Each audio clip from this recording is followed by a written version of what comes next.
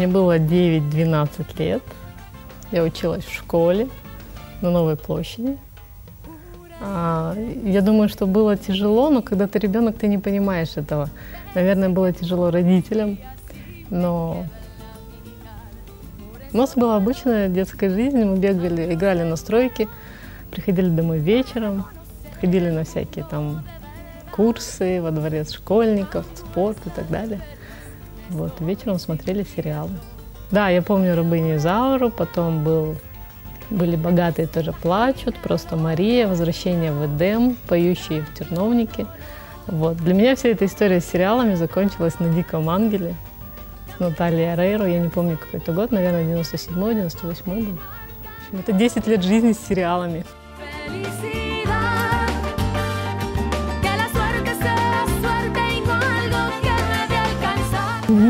Очень красивой казалась всегда вот рабыня Изаура. Вот эти локоны, красивые платья. А, Когда я пересмотрела уже во взрослом состоянии, я подумала, что нет.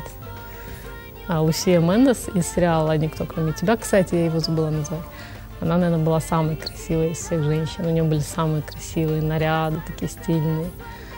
Вот, и она сохранилась хорошо. Ну, наверное, это было единственное развлечение на тот момент.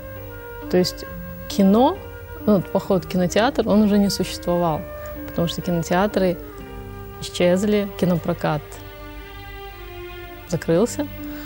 Вот. И это было, наверное, единственное доступное какое-то зрелище, это смотреть сериалы. Я долго думала о рабыне Изауре, почему она так хорошо легла вот именно на постсоветское пространство. И мне кажется, что просто это близкая была для нас тема. Мы же росли на этой литературе. «Хижина дяди Тома», а, книги Майна Рида, а, кто там еще был, Фенимор Купер. То есть мы знали все то, о чем они говорят. Неужели кулинарная книга такая интересная? Я пытаюсь разобрать рецепт жаркого по-французски, чтобы приготовить его завтра на обед. А рецепт на французском? Да.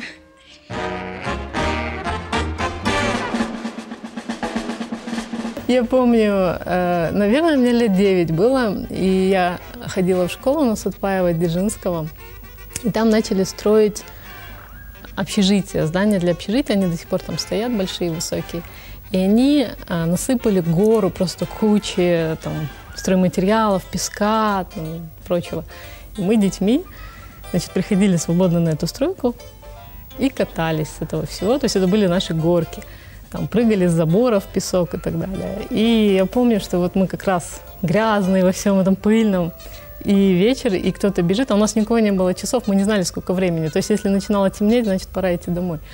А тут, значит, вечер, и такой крик рабыни Завра началась, и мы все бросаем и бежим просто в рассыпную по домам. Печально, что Эстер была такой неосмотрительной при выборе доктора. Конечно, сеньора. Почему она нашла такого странного врача? В 11 лет меня первый раз положили в больницу, такую серьезную, взрослую больницу. У нас было детское отделение. И вечерами мы смотрели в больнице «Богатые тоже плачут». То есть мы все собирались в холле, был один такой маленький телевизор, цветной, правда. Вот, и мы вместе с другими больными такими, все с перевязками там, и прочее, все смотрели этот сериал, потом горячо обсуждали его. И я помню, была какая-то женщина, она мне, когда на экране там имитация поцелуя происходила, она мне говорила, отвернись. И я говорила, ну меня дома не заставляют отворачиваться. Вот. А я смотрела все сериалы с э, бабушкой и дедушкой, потому что я жила у них, у нас был частный дом на троих хозяев. Вот. И для них это тоже была такая традиция сесть у телевизора, смотреть. И однажды у соседей сломался телевизор, и они пришли к нам. И вот несколько недель они приходили, и мы смотрели все вместе наверное, человек 8 нас вокруг этого телевизора, мы смотрим, значит, и однажды началось землетрясение. Люстра ходит ходуном, мы просто молча на нее смотрим, просто наблюдаем, как она шатается. Никто слова не сказал, мы дальше смотрим. А мы в 88 или 89 году получили квартиру в Таугуле. Тогда это считалось, что окраина города, нас многие жалели. Вот. И все дома, где мы жили, они были объединены в один жилищный комплекс, э, назывался молодежный жилой комплекс МЖК. Вот. И все квартиры, все дома объединили в единую кабельную сеть. Я не знаю, кто это делал, видимо, кто-то из тех, кто строил дома. И э, они просто целый день транслировали утром мультики, а днем фильмы. Вот так я посмотрела «Звездные войны», все «Дюну», там ну, практически весь кинематограф 80-х.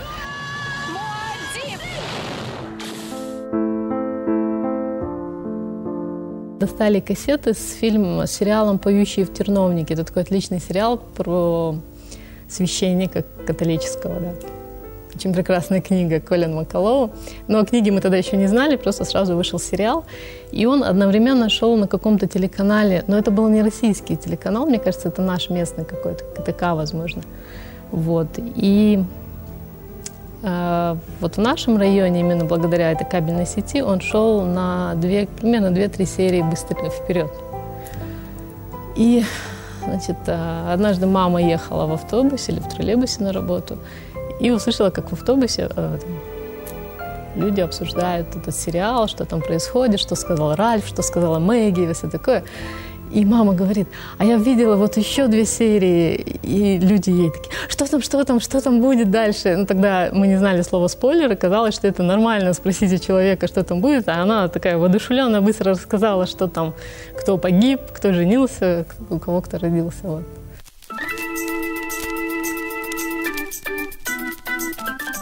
У нас был телевизор «Горизонт». Он очень похож был на этот, наверное, чуть больше и с кнопочками горизонтально они были. Он работал года два нормально, а потом у него сел кинескоп, и он показывал все в зеленом свете. Зеленое, все были зеленого оттенка, такой фильтр. А, Мы вызвали мастера, он несколько раз приходил и сказал, вы знаете, это брак заводской, вся серия этих телевизоров, у них э, какая-то проблема с кинескопом, и, в общем, я ничего сделать не могу, покупайте новый телевизор. 91-92 год, э, мы за хлебом в очереди стояли, за сахаром по талонам. Конечно, о телевизоре там речи не шло. И, ну, в общем, смотрели все в зеленом свете. Через какое-то время я прихожу в гости к подруге, у нее стоит такой же телевизор и показывает все в красном цвете. И я поняла, что нам повезло. Зеленый был удачнее. Я вот помню, что по утрам тоже показывали серии, повторяли. То есть если не смог посмотреть, потому что вечером не было света, то ты мог посмотреть утром. Хотя, конечно, чаще всего уже одноклассники все рассказали. Вот жизнь с бабушкой и дедушкой в этом доме, она была в чем-то легче, чем жизнь там, уже в Таугуле. Потому что в Таугуле у нас был газ, и газ отключили первым, потом стали отключать электричество. Вот. А у бабушки, а, у них было, было печное отопление, была керосиновая лампа, было, ну, там было много возможностей как-то существовать нормально. Ну, у меня с Таугулем первое, наверное, такое сильное впечатление. Очень холодно. Мы как раз осенью уехали, и тут начались веерные отключения. Мама говорит, надо сходить за молоком. А рядом у нас был э, супермаркет, ну, супермаркет-гастроном. Он так и назывался Таугуль. До сих пор он сохранился. И я прихожу, и там ничего нет. Просто в магазине ничего нет. И за молоком огромная очередь. И мы, наверное, час стоим за этим молоком, чтобы потом домой прийти, там что-то сделать. Ну, и также было с сахаром, с хлебом. Ну, и лучшая такая, наверное, лучшая еда была это взять хлеб, намазать маслом и посыпать сахаром. Вот, это было очень вкусно. Я научилась делать сама шоколадное масло, как-то сама додумалась взять масло, какао и сахар. Ну и однажды мама а, разжила, не знаю, где она взяла, две больших коробки с китайской лапшой. Она мне казалась просто... Не знаю, у нее был какой-то царский вкус. И мы ее ели очень долго. Наверное, она в чем-то помогла тогда всей стране, это китайская лапша. Мне кажется, что когда показывали «Богатые тоже плачут», наш телевизор еще был нормальным, и сок был оранжевым, желтым и оранжевым в разные моменты. Они там пили часто. И мама мне говорит, смотри, мне кажется, они пьют свежевыжатый сок. А для нас это же было что-то сверхъестественное, сверх, там, не знаю, свежевыжатый апельсиновый или мандариновый сок, когда ты не видишь нормальных фруктов. Вот. И потом проходит какое-то время, появился Зука. Чтобы получить замечательный фруктовый напиток, достаточно воды и пакетика Зуко. Зуко – это вкус девяти разных фруктов. Попробуйте Зуко. Юпи, и мама говорит, ты знаешь, мне кажется, они все-таки пили Зука. А, там дешевле как бы было. Вот. Ну и Зука это на празднике было, а Юпи это так. Зука был дороже, раза в два, наверное, и по качеству он был лучше. То есть, когда ты растворял Юпи, это был такой химический процесс. Ты понимаешь, что ты практически в кабинете химии находишься и пьешь что-то такое очень ненатуральное. А Зука, там были очень интересные ароматы, манго, например. Я очень любила манго. Я не знала, как выглядит манго. Ну, я видела только на этой картинке примерно, там был кусочек манго. Я была абсолютно уверена, что никогда в жизни не попробую настоящий манго. Но прошло, наверное, лет 15, и мне удалось все-таки. У меня была подруга немка, она была старше меня на три года, они жили в нашем же доме, в частном доме. И я помню, как однажды утром она подош... пришла к нам домой и говорит, пойдем посидим в нашей беседке. У них беседка была очень хорошая. И мы сидели, просто включили радио, листали журнал «Юность». И вдруг по радио сообщили, что в Москве происходят вот эти события. А семья Эльвиры, они уже на тот момент получили а, возможность уехать из Германии. То есть им буквально оставалось там 2-3 месяца в Казахстане. Ведь у них уже были билеты, и она мне говорит, знаешь, я вот очень рада, что мы уезжаем, потому что непонятно, что будет здесь происходить.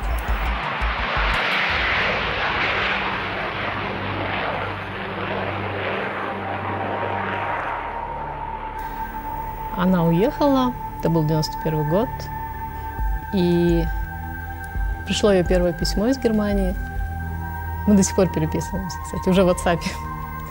Вот, и она мне пишет, что, знаешь, я зашла сюда в магазин, и мне стало плохо.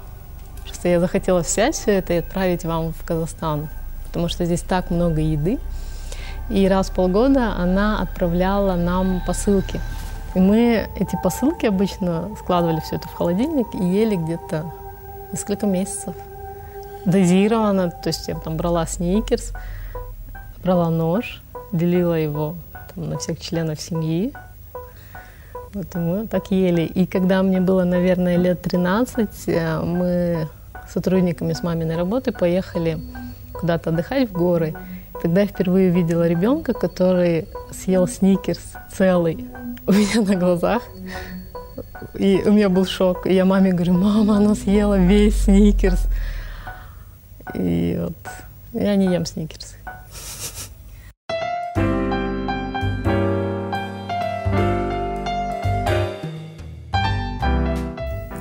Мы очень много общались. Э, У нас дома не было телефона у бабушки. И одноклассники приходили ко мне домой. Или я к ним шла домой. То есть они могли идти там, минут 20 до моего дома, прийти, а бабушка выходила и говорила, а Света нет, она уже ушла. А я могла пойти к кому-нибудь тоже из одноклассников, и там мне могли сказать, э, Свет, там, кого-то там, Тагос нет, она ушла к тебе. Вот. И где-то посередине мы могли встретиться. Была какая-то спонтанность, э, было это ощущение постоянного ожидания чего-то необычного, а, приключений каких-то, какой-то свободы, когда ты не зависишь от звонков на сотовом, телеф... в сотовом телефоне или от каких-то сообщений. То есть ты вышел из дома, пришел вечером уже, и никого там особо не волнует, там, поел ты или не поел. В любом случае, ну, бабушка всегда знала, что я поем или у соседей на, в огороде, или они к нам приходили, дети чужие, мы ели помидоры с огорода, не заходя к бабушке. Я помню безумно вкусную воду, которая была в колонках. И мы то есть гуляли, гуляли, гуляли, могли бегать, бегать, потом бегали, мы знали, где все колонки находятся, попить там воду. А, иногда оса кусала кого-нибудь за язык, потому что она пряталась в колонке.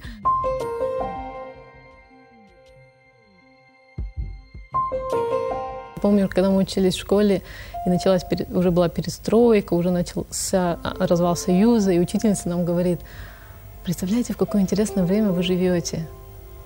Перед вами открывается мир. Вы можете поехать отдохнуть. Ну вот через несколько лет, возможно, вы там мы уже можем поехать куда-нибудь. Мы тогда об этом не думали. Я когда читала книги, там, Дюма, Фенемора Купера, когда смотрела вот «Рабыню Изауру», я не задумывалась о том, что я могу оказаться там, что я могу погулять по Парижу или а, увидеть Лос-Анджелес. Потому что мои родители никогда не выезжали за пределы а, Советского Союза. Максимум, куда мы могли съездить, это Москва или Белоруссия, потому что ну, мы родом оттуда. И когда я оказалась несколько лет назад в Бразилии, я вспомнила про рабыню Изауру, в общем-то, все, что я знала про эту страну. И утром, когда прилетела с самолета, ночевалась, я встала, я взяла с собой плойку. И думаю, я сделала себе красивые локоны, ну, не как у рабыни Изауры, но посовременнее. Накрутила, вышла, и была такая влажность, что где-то через полчаса у меня просто все упало. Я подумала, наверное, она ходила в парике в этом сериале. Я недавно спрашивала бабушку, я ей дала книгу Алексеевич, Алексеевич, Алексеевич «Время секонд-хенд», потому что, когда я ее читала, для меня это было больно. Хотя я была ребенком, я этого могу не помнить. И она, бабушка прочитала эту книгу и говорит, ты знаешь, мне кажется, нам не было так сложно, как вот она пишет в книге. Возможно, потому что мы жили в Казахстане, а она пишет о другой республике. Возможно, что мы просто очень быстро забываем о каких-то трудностях, и это хорошо. То есть, эм, мама тоже, когда я с ней разговаривала, она не говорила, что было что-то там сверхъестественно сложное, там, или что она, мы там выживали как-то. Нет, мы жили как все. То есть а, на школе все плохо одевались, да, все ходили постоянно там в одной и той же одежде. У нас не было в школе формы. Просто не было денег на форму. И а, вот начиная где-то с третьего класса, с четвертого, мы ходили кто как может. Кто в джинсах пришел, кто там в маминой. Я ходила в мамином свитере и в тетиной юбке. Вот. А, и все так ходили, и это было нормально. И мы все одинаково питались, жили в одинаковых условиях. Да, мы все были бедными, но мы просто не знали об этом. И я думаю, что если сейчас случится подобное, то нам будет тяжелее, потому что мы побывали за рубежом, мы попробовали манго и ели сникерс целиком.